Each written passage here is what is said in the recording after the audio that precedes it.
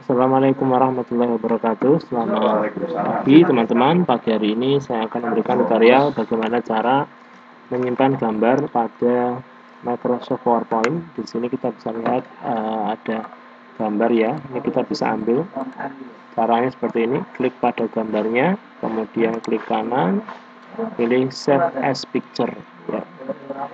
Nah, kemudian kalian tentukan pada folder mana. Klik tombol Save ya klik tombol save nah sekarang kita lihat untuk dokumennya ada nih. Nah, ada muncul teman-teman. Seperti itu ya. Baik teman-teman semoga informasi ini bisa bermanfaat. Akhir kata assalamualaikum warahmatullahi wabarakatuh